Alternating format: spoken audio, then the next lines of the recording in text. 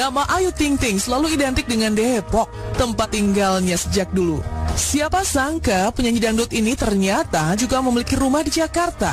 Rumah tersebut disiapkan untuk memudahkan putrinya Bilkis yang bersekolah di daerah Jakarta. Meski begitu, Ayu tetap memilih tinggal di Depok bersama keluarga besarnya.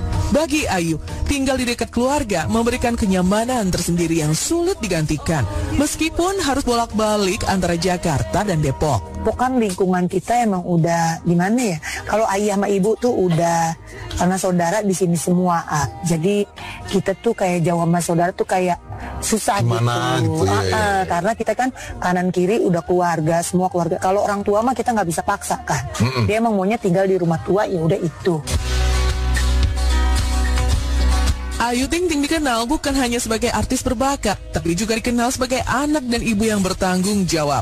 Di balik kesuksesannya, Ayu memiliki prinsip hidup yang membuatnya sangat dihormati oleh keluarga dan orang-orang di sekitarnya. Sebagai tulang punggung keluarga, Ayu memastikan orang tuanya tidak perlu mengeluarkan uang mereka sendiri untuk kebutuhan sehari-hari. Seluruh penghasilannya ia dedikasikan untuk keluarga, termasuk saudara-saudaranya yang membutuhkan bantuan. Namun Ayu sendiri mengaku tidak pernah tahu berapa jumlah uang yang dimilikinya karena semua dikelola oleh sang ibu. Bagi Ayu, yang terpenting adalah memastikan masa depan putrinya Bilkis tetap terjamin. Kalau gue juga gitu, ah, cuma masa nama ibu kayak gitu doang. Yang penting buat sekolah anak gue nih, Selesai. ini oke lah gitu sampai Iya. nanti dia wah ini kita buat masa depan gue sama anak gue tuh ada. Ayu mengaku bersyukur memiliki keluarga yang selalu merangkul dan mendukungnya. Banyak yang bertanya, apakah Ayu tidak merasa capek tinggal bersama orang tua? Dengan tegas, Ayu menjawab, tidak. Bagi Ayu, keterbukaan dengan keluarga adalah kunci kenyamanan. Tak hanya itu, Ayu juga lebih memilih liburan bersama keluarga ketimbang dengan teman-teman. Bahkan, liburan terakhir Ayu bersama sahabatnya Saskia Gotik terjadi sebelum Saskia menikah ketika mereka sempat keliling Eropa. Enggak lah, emang karena tipenya gue mungkin anak rumahan kali ya. Iya. Jadi seneng ngumpul sama keluarga gitu, ngabisin waktu. Ya, Bisa dihitung. Sekali doang waktu itu Saskia Gotik. Sekali Saskia Gotik. doang. Udah lama lagi tuh. Udah lama banget. Sebelum dia merit. Hesti Purwadinata, sahabat Ayu, ungkap keprihatinannya terhadap Ayu yang dinilai terlalu polos dan kurang bergaul di luar lingkup keluarga. Sebagai sahabat, Hesti juga khawatir Ayu selalu mengikuti omongan orang lain, terutama soal jodoh. Ia mengingatkan Ayu bahwa penting untuk tetap meluangkan waktu bagi diri sendiri di luar rutinitasnya bersama keluarga. Ayu ungkap dirinya sempat berpikir untuk mencari jodoh melalui aplikasi Kencan karena mendengar temannya Kiki Saputri yang pernah menemukan jodoh dari aplikasi tersebut. gue baru tahu dia tuh beneran sepolos itu. Pasangan nggak ada nih.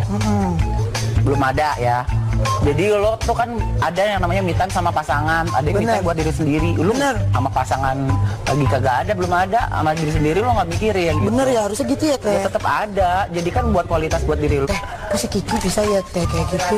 Teh apa gue cari di situ aja. Jadi langsung marah. Enggak teh, maksud gue dia aja bisa dapet. Ayu yang sempat mengalami trauma soal hubungan kini mulai membuka diri untuk melangkah ke depan. Kesepian yang ia rasakan bahkan hingga handphonenya jarang berbunyi membuat Ayu memikirkan kembali keinginannya untuk memiliki pasangan. Ayu mengaku sudah tak ingin mencari pasangan dari kalangan tentara lagi. Bagi Ayu yang terpenting sekarang adalah menemukan pasangan yang bisa membuatnya merasa nyaman dan tidak ingin mengalami kegagalan seperti sebelumnya. Tak hanya ingin memiliki pasangan, Ayu juga memiliki cita-cita besar, yaitu punya banyak anak.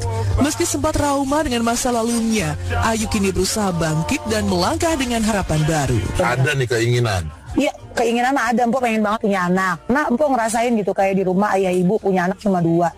Empok sama adik empok. Dia berkeluarga. Sepi itu. Kesian ayah ibu. Gitu. Pengennya tuh ngumpul tuh keluarga tuh banyak. Gitu. Anak kelima.